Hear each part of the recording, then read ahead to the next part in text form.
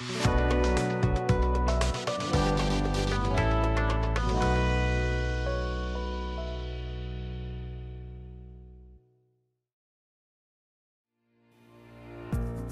and welcome to this video tutorial on how to use QLM. QLM can track illegal computers that connect to the license server and log information about these computers in the database.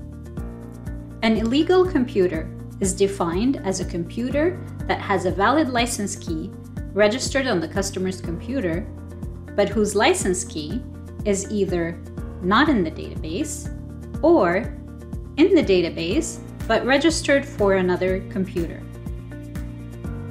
This situation can occur if a user with a valid license key requests that his license be deactivated from computer A, claiming to have uninstalled your program from computer A.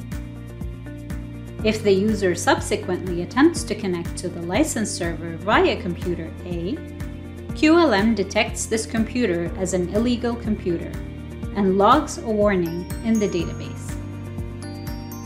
This illegal computer page displays a list of all the detected illegal computers.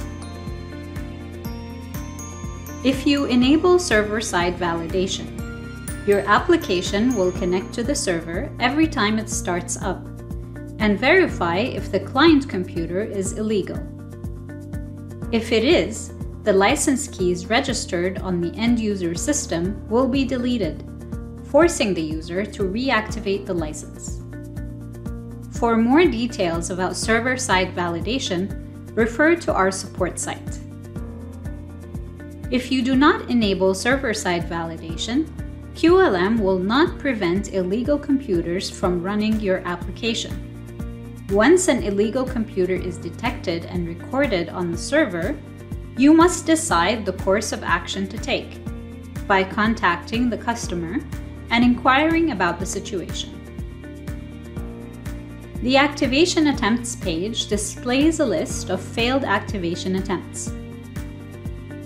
A failed activation is typically due to multiple attempts to activate the same license key on different computers. The failed activation attempts may indicate an intention to illegally activate a license on a particular computer. They can also be regarded as a sign of a user who needs additional licenses of your software.